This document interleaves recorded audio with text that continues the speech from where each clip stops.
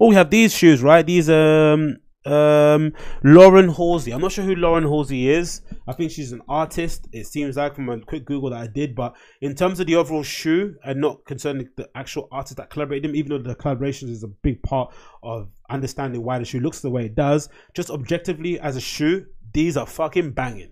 I love them. So essentially, it's an it's an all black Air Force One. So you know I'm always game. Um, with some very clever little sparks of color and little bits of detail that really kind of make it pop.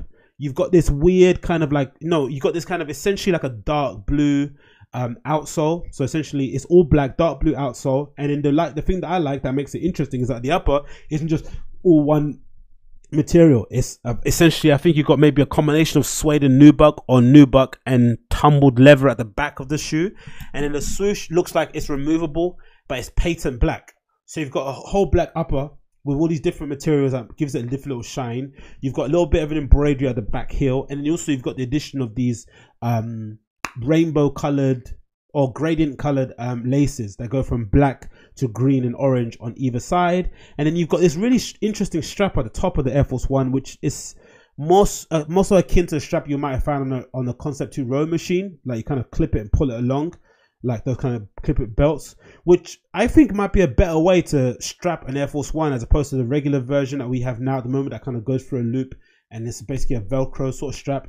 Um, I think this is still Velcro, but I like the fact that it's got like a clip on it, so you can basically feed it through and then clip it on the back. That looks really cool. I, am a big fan of it because I'm not really a fan of how people wear the Air Force Ones. The classic way is you essentially take the strap off and have the loop hanging from the back, um, or you just take the hoop off, loop off um, um, altogether. Or if you want to have that style, you essentially wear the Air Force One mid, which is you know a bit of a cheat. I think you should only be wearing lows or highs, or you get the Air Force One mid that has the strap that's a little bit more. It's got more of a shape, so you can just wear a bit open, right? That kind of style of wearing.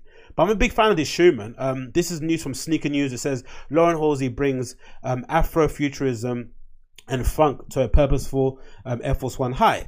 Um, the text is the following: the, curve, the convergence of art and footwear. Uh, Nike's latest modification of the Air Force One high lies largely reversed on the surface, yet loud just underneath, with its finger on the pulse of Lauren Halsey's thought-provoking messages. Um, her artwork deals with class and systemic oppression of both the LGBTQ and African American communities alike, speaking out with pieces such as "What If We Owned." Or with the sprawling mosaics of "Gotta Get Over the Hump." So let's definitely just check this um Lauren Halsey and see what kind of artwork they do because it's talking a big game. Let's see what we think of the actual artwork. But the shoes objectively are fucking cool. I'm a big fan. Of. Okay, I love the art. Just looking at it from the images on Google, images look pretty cool. Um, so again, really cool collaboration. I wonder why she got a collab with Nike though. Wonder what the premise is. Usually they don't really out these collabs for any reason. They Usually might be uh, activation tied with it. Maybe she's gonna do an exhibition sponsored by Nike. But it's interesting collab because I've not really heard of her. Maybe she's very popular in LA.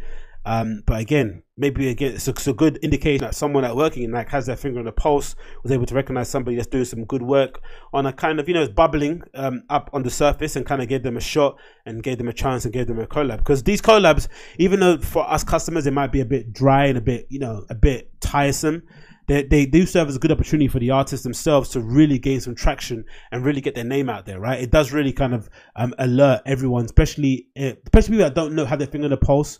You're essentially being provided with a platform to kind of spread your message and kind of put yourself out there again and get other brand deals. Of course, it might be a bit difficult with other sports brand because once you've signed with Nike, it's hard to go back and kind of you know um, sign with Adidas or whatever it may be. Or sometimes you might sign an exclusivity deal that might uh, might kind of block you from doing that. But I think other brands in other industries will see that um, Nike badge of approval and also want to align with you in some respect, shape, or form, especially nowadays in this capitalist world we live in where, you know, and unfortunately the LGBTQ message has been co-opted and now people are using it as a kind of essentially a marketing ploy, right? There's no office in Liverpool Street that I've seen during, you know, um, gay pride that doesn't have their logo changed to the fucking LGBTQ rainbow, even though some of the employees or some of their directors or some of their actions will be very much against that whole community in the first place. But you know, that's neither here or there. Let's go back to the shoe.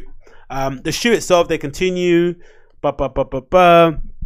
The article says, "What if we get off this hump? Continuing a headstrong to a wider audience with help of now removable swooshes of the Beaverton staple. The black dress uppers bear texture of suede or smooth leathers, lining and lying next to a, a boldface type that says uh, "Suma Everything." The artist handle for her private Instagram account, while expressive. Oh, that's quite cool, isn't it? She's got a she's got her own Instagram account username on the side of a shoe that's private, so you can't even look at it yourself. So you can't even so maybe she's gonna gain some followers. This might be a cool way to do a collab, isn't it? So you know on the, on the tongue, instead of changing the tongue to your logo or changing the fucking the heel tab to your logo, maybe have on the back of it your fucking um, Instagram um at um that would be pretty cool going forward, isn't it? That would be fucking awesome. I, I love that. Um Straps at the top line are nothing of the ordinary, poetically revealing this inner thread throughout the whole translucent window. The tongue sport a punchy graphics, neighborhood autonomy and pride, speaking out of unison of vibrant imagery of the culture rich all over print tucked away in the insole. Grab a good look at her and take just right below. Jesus Christ, writing on his website is horrible, but I think maybe this is just from a press release or some sort of word lottery. But yeah, it looks amazing. I'm a big fan of them. Three piece, three different materials on the upper, a nice removable uh, patent swoosh on the side. So if you don't want any branding and you just want to keep it nice and mellow, you can. Uh, a really cool strap at the top and these great laces. I'm a big fan of them, man. Again, you, are not to get me saying anything wrong about uh, all black Air Force One. Easy wear shoes to wear, especially if you want to go rubbing off license somewhere. Definitely check them out if you're that way inclined. I fucking love them. Great shoe. They're to be out when December December seventh. So a few a few weeks to go. Um, again, a shoe that isn't going to be that hyped. Not a lot of people are going to be wanting to resell it, but as just an objective shoe to have in your wardrobe, that's really cool. That looks amazing. Get them now. And again, I'm saying it now before someone cool wears them and everyone starts fucking wanking over them. Get them now. Make it your mind. Be a thought leader. Don't go for the easy, safe thing. Try and make a difference and wear something more interesting. And I like the fact they got metal eyelets at the top and not at the bottom. Wonder why that is. See, right here at the top, there's metal eyelets, and the bottom there isn't. Hmm, interesting. I don't really like metal eyelets on my shoes in general. I think it makes it the shoe look a bit too formal. It ends up looking like a wingtip. Is it me? Maybe it's not only just me, but I'm not really a fan of the metal eyelets. But yeah, check these shoes out. A cool collaboration with Lauren Halsey, um, Afro Afrofuturism Air Force One High. That's not what they called though, right? They called uh yeah, Summer Everything. So yeah, definitely check those out. Out December the seventh at all your regular sneaker spots. I'm assuming, in it.